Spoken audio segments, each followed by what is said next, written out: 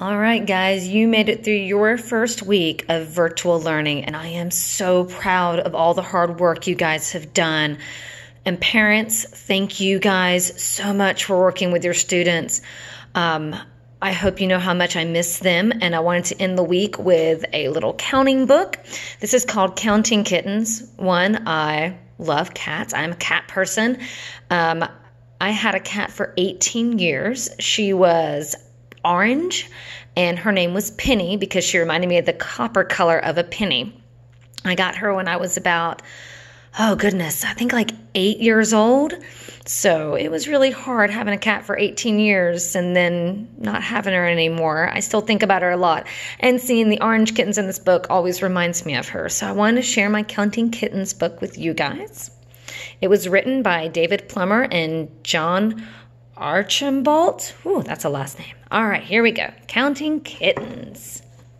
Oh, and there's I couldn't wait for my cat to have kittens, all fluffy and purring and snuggly and round. But what a surprise when they opened their eyes and started running around.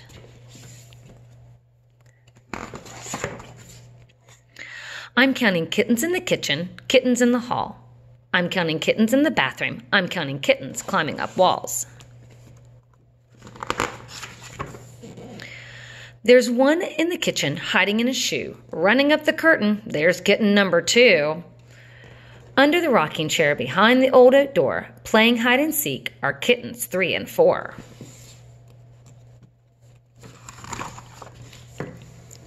I'm counting kittens in the kitchen, kittens in the hall.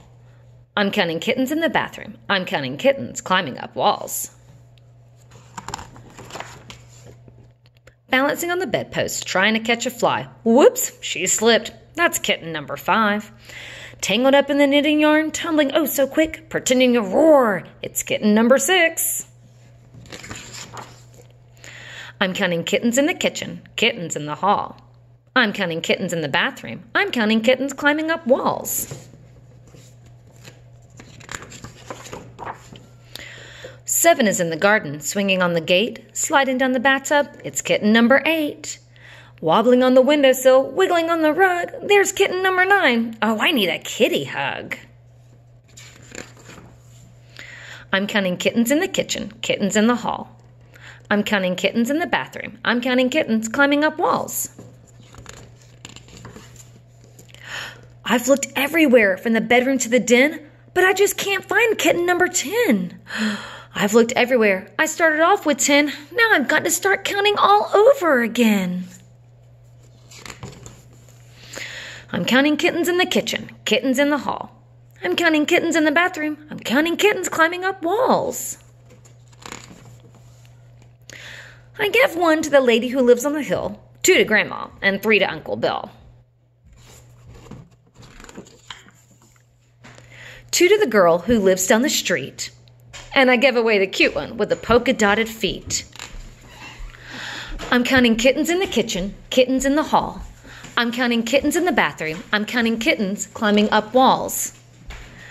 I'm so happy my cat had her kittens, all fluffy, fluffy and purring and snuggly and round. Kitten number 10 was under my sheet, purring so softly and sweet. Kitten number 10 is my best friend. Now I'm counting kittens in my sleep.